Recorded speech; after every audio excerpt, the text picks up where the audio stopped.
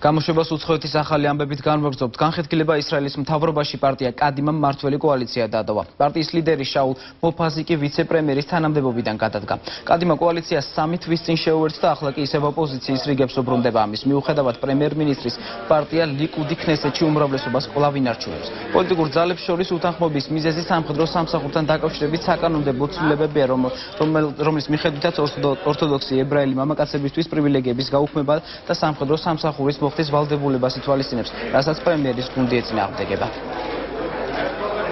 بكل نقاط اخرى ყოველთვის გადაწყვეტილების მიღების მომენტში ნეთანიაჰუ წინსვლის ნაცვლად ერთ ადგილზე დგომას ირჩევდა.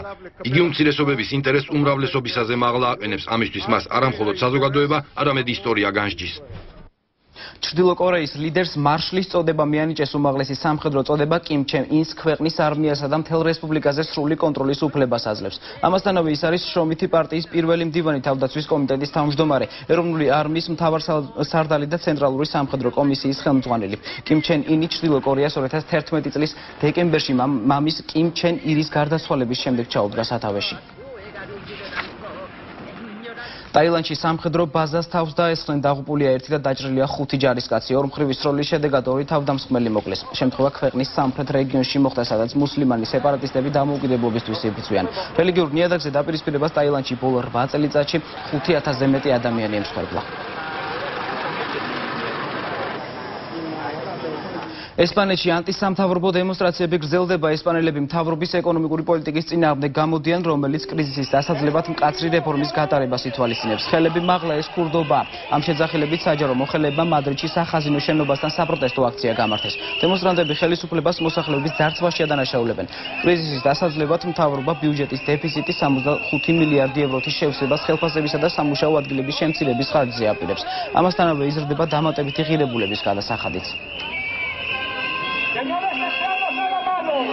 ნორვეგიაში ტრაგედიის წლისთავის აღსანიშნავად ემზადებიან გასული წლის 22 ივლისს კუნძულ უტოიასა და ოსლოში მომხდარი ტერაქტის შედეგად 77 ადამიანი დაიღუპა.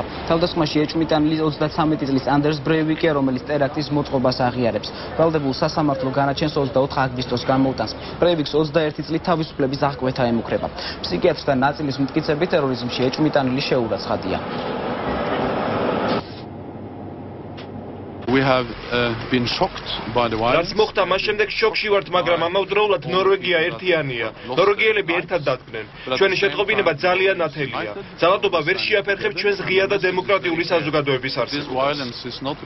ნიუ-იორკში 7 წლის გოგონას სიკვდილს გადაარჩინეს აუტიზმით დაავადებული მცირეწლოვანი ბავშვი მესამე სართულზე ფანჯარაზე დამაგრებულ კონდიციონერზე აზრა და გადახტა. გოგონა მეზობელმა დაიჭირა. შემთხვევის შედეგად ბავშვი არ დაშავებულა, მისმა გადამრჩენელმა კი ხელი მოიტეხა.